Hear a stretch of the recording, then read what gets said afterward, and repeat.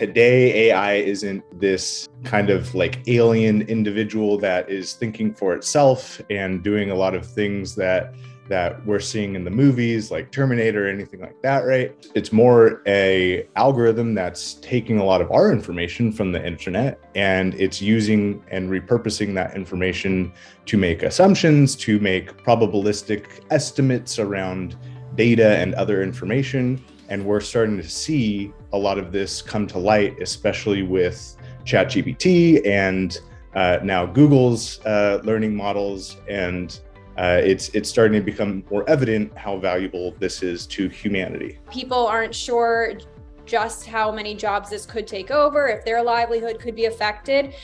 What are some of the key industries that we could see AI replacing these positions? When we think about what AI can do today, uh, a lot of it is at the um, more level of you know white collar jobs and white collar work, and so we're seeing uh, AI taking the role of much design work, whether it be language or um, imagery or even videography. Um, all these things are starting to become very easy for AI to do.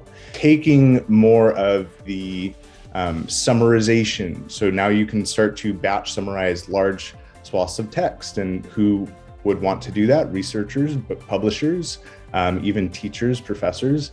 And so it's really something that uh, it, it, takes more of the base form of a lot of these jobs and it enables people to elevate their efforts to more of the creative elements that only humans have right and more of the personal interactions obviously you're eliminating a lot of these salaries for people replacing them with ai how much is this going to save a company? We can see with like the largest tech companies today, um, you're seeing jobs anywhere from uh, let's say 5% to 12% of workforces at Google, Microsoft, Amazon.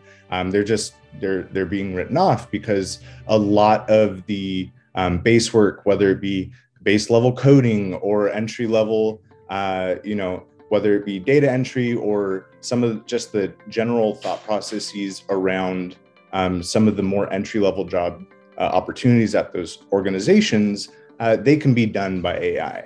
Um, whether it be marketing, media, um, all these things, it AI enables you to um, get a lot more uh, efficiency in your processes. What could we expect the jobs market to look like as this advances?